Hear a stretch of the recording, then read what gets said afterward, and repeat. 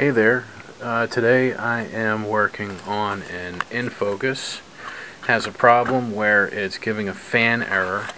Uh, this particular model is a this is a Screenplay 7205. When the customer turns it on, they get a flashing indicator light, which is on this panel here they get a flashing light there indicating that there's a fan failure and it shuts right down. There's three fans in here, three fans built into the unit I should say. You have these two exhaust fans, there's a blower fan down in there, and then the fourth fan which is not part of the projectors, this one here, this blower fan is actually part of the, uh, the lamp or the cage. It's bolted to the side. Uh, it wasn't bolted on correctly and the contacts here were not lining up with the connection inside the projector. And that connection is right here. These little brass tabs they line up with those tabs on the lamp so that when the lamp drops in those tabs hit against these and the fan runs. Either these tabs were pushed down over the years from lamps being put in maybe pushed in too hard or possibly the circuit board on one of the lamps at some point was sitting down too far and it just kind of squished them. You can see that they have a little angle to them here. You can see right there it kind of goes in an S shape. So fortunately with this one all I had to do was rebend these, clean them up, burnish them a little bit so they get a better connection and uh, this should be fine. I'm going to put it together now and try it out. So I'll show you what happens after that. Before I put this back together, I actually want to point out a few things. Uh, sometimes, as these projectors get older, the uh, the white metal inside, you can see it starts to flex from the heating and cooling, and it starts to crack. Crack right here. Have a crack down in this support, and it's it's a little crack down in there. Now, the integrity seems okay. Obviously, I wouldn't try hanging on it or anything and in this situation I'm going to leave well enough alone. I'm not going to try and straighten anything or disassemble and reassemble that part. It actually might cause more of a problem than it'll fix. But you still want to check and make sure there's no actual loose pieces. If any of this breaks free, it's metal there, so if any of that breaks free and hits a circuit board or you know, gets into a power supply or something, that could cause some problems. But since it's, you know, only cracked a little bit, gonna leave it alone. It'll be okay but I'm still gonna clean it up and see on the the color wheel. A shroud there it's pretty dusty. I already cleaned the wheel off but I want to clear that that shroud off there so that um, that dust doesn't build up more and get into something where it could damage. So all I'm to do with that is just use a dry q-tip down the bottom. I'm just to knock this all loose here and I'll get some air and blow it out Now I'm going to put the top on. There's three connections for the top. We have one connection that goes here. That's for the keyboard or control panel. Then there's actually another connection here. This is for a speaker. It shows four pins, but it only uses two. And then there's a connection for the fan.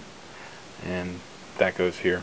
Um, that's that jumper wire right here that runs from the pieces that I fixed or rebent down the wire to that plug.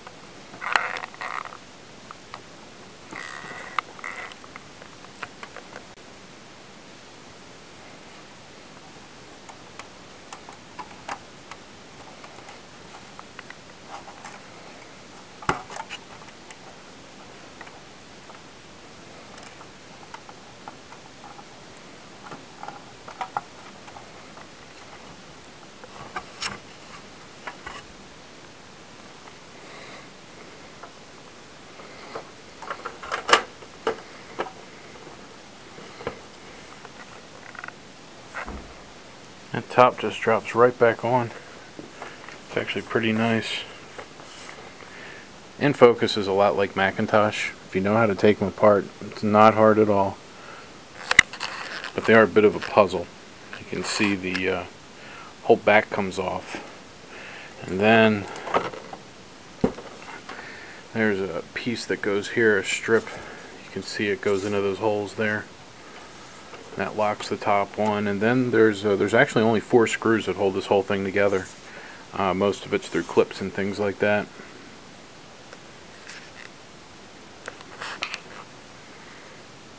And the screws are just a pair of T10s.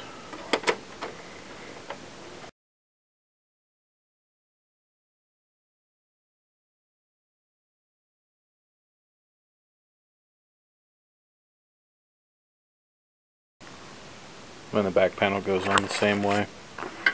Two T10s.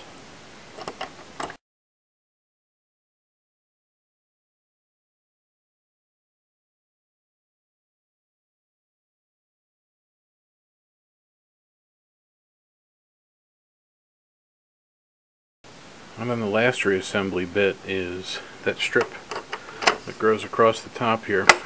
Just snaps in.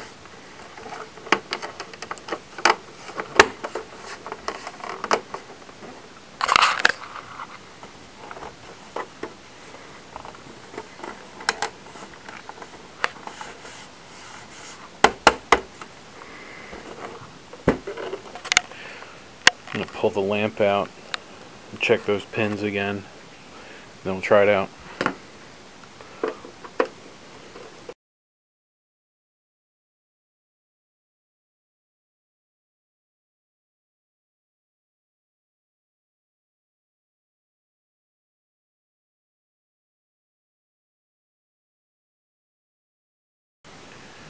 And there's that fan that's part of the lamp.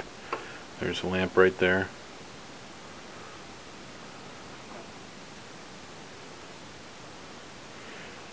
And there's those tabs. So those contacts hit those tabs makes the fan go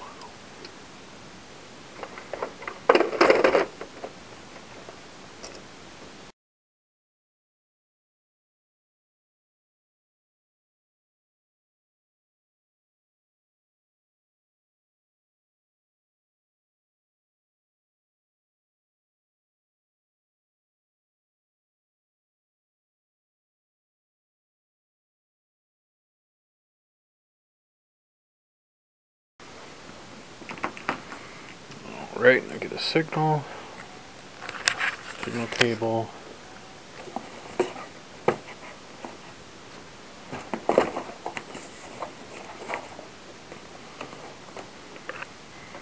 Alright, I get a power cable.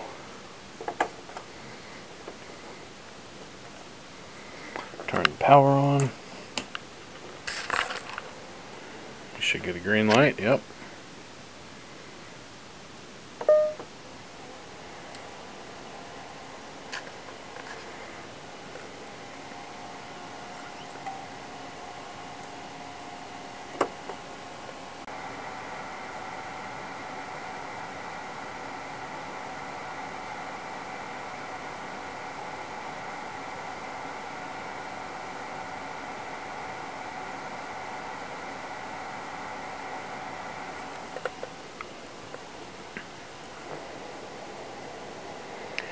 As you can see it came on no problem. Light solid green, that means it's in run mode. I Saw the light come on. It's on the splash screen. I'm going to power it down and set it up for actual testing. But I suspect everything's fine with this.